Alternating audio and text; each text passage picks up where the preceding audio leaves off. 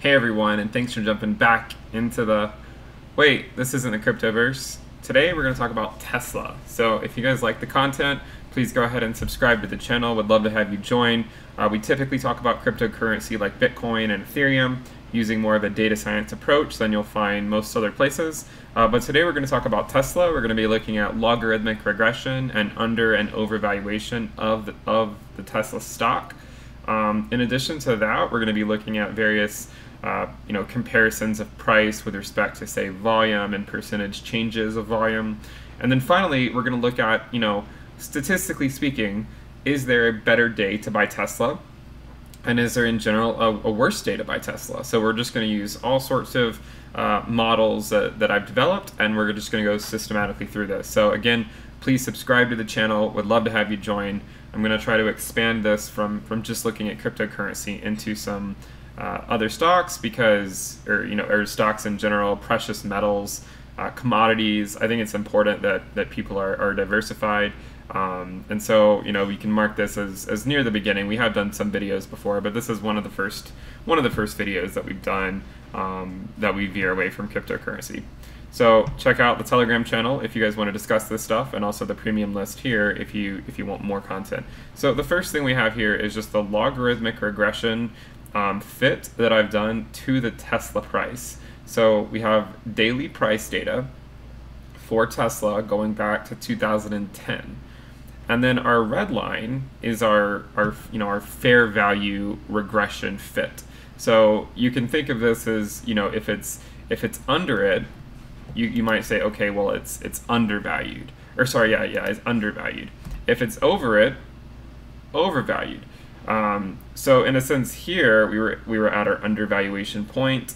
Here again, we were overvalued in 2014 and 2015, and now we're approaching that same overvaluation point um, this year potentially. So we would only need to go up another few hundred dollars to reach this um, overvaluation line. Uh, the orange line you hear that you see here is just the quarterly revenue. Um, now I'm not plotting anything against it, it's just, it's overlaid on the secondary y-axis so that you can see how the price moves when the revenue moves. Here's an example where the revenue started to rapidly go up and it was a leading indicator before the price really started to move up. Um, over here, this isn't, it wasn't really the case. But again, we, we were at that undervaluation line and this is ultimately where we bounced off of. We came back up almost to a thousand, back down to being undervalued, and then and then straight back up. So in a sense, if you wanted to use this to try to time, I mean, this is not financial advice by any means, but if you wanted to try to you know time your entry into the market, it might be useful to say look at, at when we're in our undervaluation phase or our overvaluation phase, or if you are deciding to buy at this point, to just know that based on historical data, we might be capped up in this region in the short term.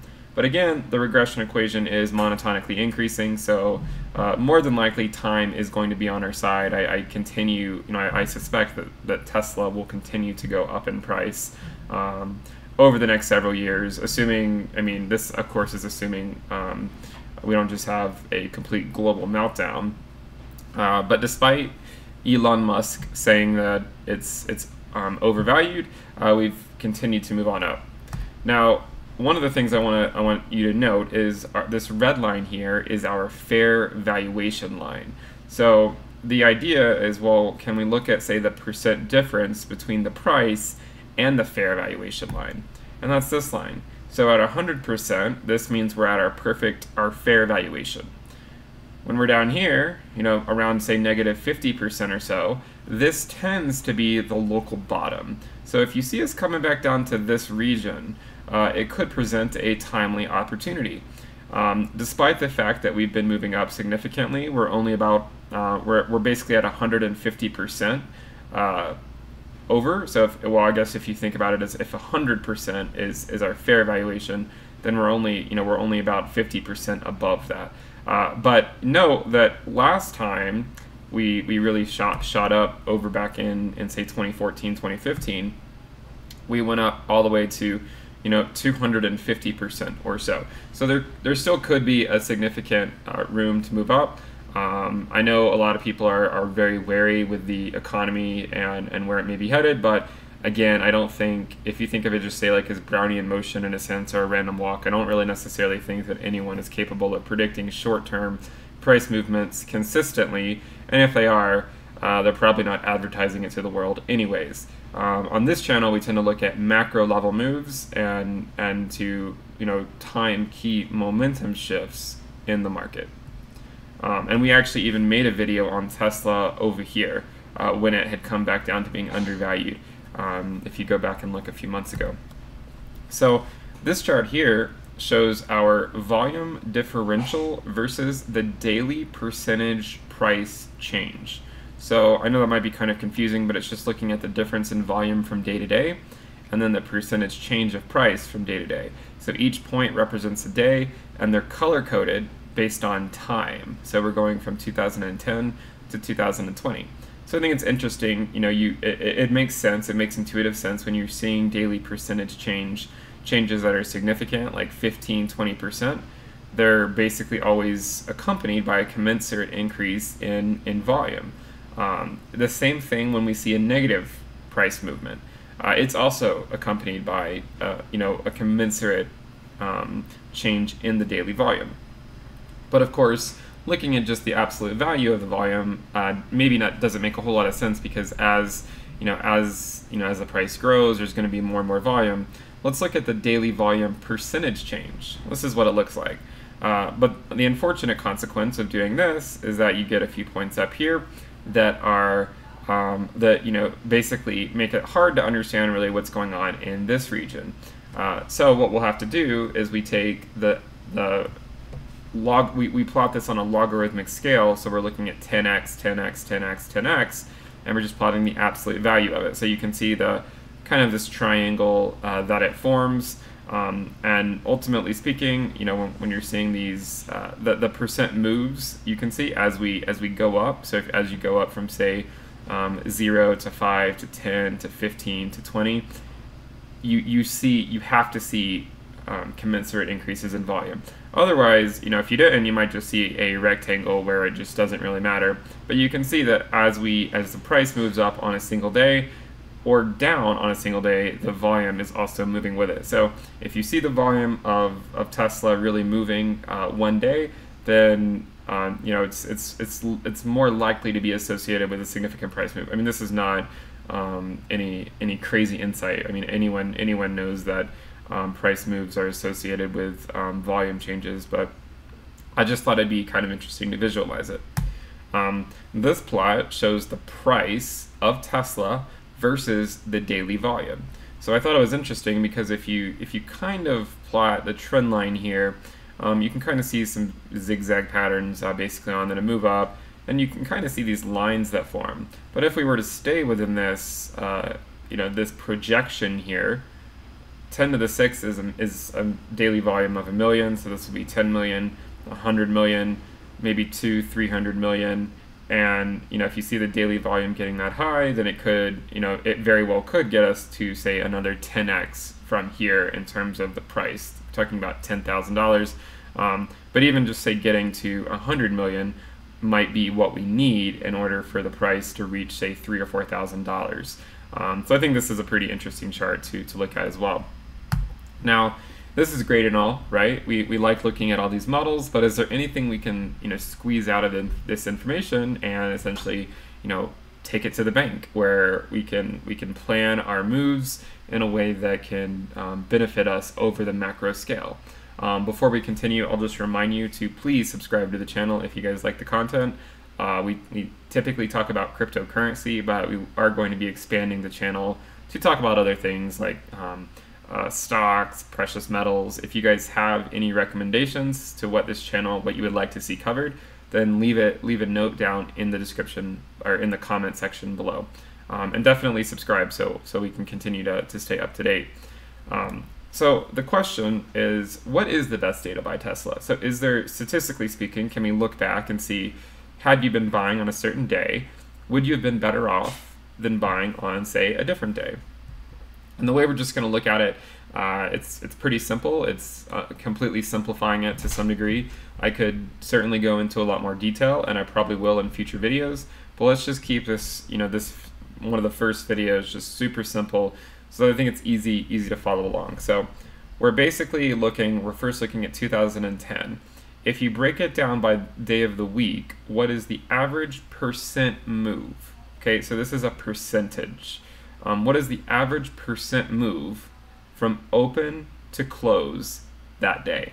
Okay, so in 2010, the average percent move on, say, a Monday was negative 0.25%. On Tuesday, it was 0.4. Wednesday, 0.75. And then Thursday and Friday, it was negative. Um, so during this first year, on average, you would have seen, you know, had you been buying uh, first thing on Tuesday, then on average, the price by closing time would have been approximately 0.4% higher. And on, on Wednesdays, uh, 0.75% higher. So you could argue maybe that Tuesday morning could have been a decent time to buy, or Monday at close, and then um, and then you know Wednesday at close would essentially uh, mark a potential short-term move to the downside, on average, of course. If you look locally, you're, you're going to find times where the complete opposite happens. Um, this is just on average. We're not even showing, say, standard deviations or you know like an error bar. We're just taking the, the pure numbers um, averaging them out and seeing what we get. So in 2011, uh, this is what we had. I'm not going to go through every single year. We're going to just get a general synopsis of it. Um, but you can see we more or less uh, are fluctuating between like negative one to one. Um, and what you notice is as we, you know, as we continue to march on, there's more and more days where on average they're positive, um, especially as we get into these later years. Now, is there anything we can take from this uh, that can that can help us? Like, is there any is there is there a way to deduce? Well, if this is negative and negative and positive and positive, you what's something we can we can look at? Well, one of the things we can look at is um, first just highlighting what is you know where where do where do we tend to be positive? You can see that in the last few years, the beginning of the week um, tends to be a better time to to purchase Tesla uh, than the end of the week. Because if you're say purchasing it on Fridays, I mean Fridays is by far the worst day to, or one of the worst days to, to buy Tesla, because you can see that on average, most of the years, if you had purchased it at open, then by close, close of business, um, you would have actually been sitting at a loss already. And you know, there's it's certainly not a great feeling when you put money into the market and then a few hours later you're already, you know, you you already see a loss. I mean, no one wants to see that. Um, but on average, doing you know investing on say Monday or Tuesday tends to be a lot better. Now, if we count them, so what are the best and worst days if you count them by year? So out of the 11 years we have, so 2010 to 2020, the number, you know, the number of years where Monday was the best day to buy on average was 4 and Tuesday was 4. So 8 out of the 11 years, the best times to buy would have been Monday or Tuesday. Um, Wednesday only coming in at 2, Thursday 1 and Friday 0. So there was not a single year where statistically speaking um, looking at you know averaging it out over every single uh, day of the week over that year, uh, Friday was never the best day to buy at open. Um, now, what is the worst day? You can see that Monday and Tuesday and Wednesday all had a single year where they would have been the worst day. But Thursday and Friday were the worst days, eight of the 11 years. So, in terms of buying Tesla at open, Monday and Tuesday would have been your best bet over the 11, over the last 11 years, and Thursday and Friday would have been your your worst performers. Um, so I hope that makes sense. I, I hope I've explained that uh, well enough uh, that it's it's useful. We know that you know past results obviously don't guarantee anything uh, regarding the future. Um, but you know, regardless, it's still interesting to, to look at this data and you know, I can package the data for you. It's, you know, I'm, I'm, the data messenger in a sense, and then you can do whatever you wish with it. Maybe you think, oh, well, since this has been the trend so far, I'll take the, you know, the contrarian view or, or something like that. Um, so, you know, there, there's certainly a lot of different ways you can look at the data. Um, but ultimately speaking, I, I, think providing this type of data is useful. Um, and and if you you know if you stick with it over the macro scale and you're not a day trader, then I think it really could it could benefit you.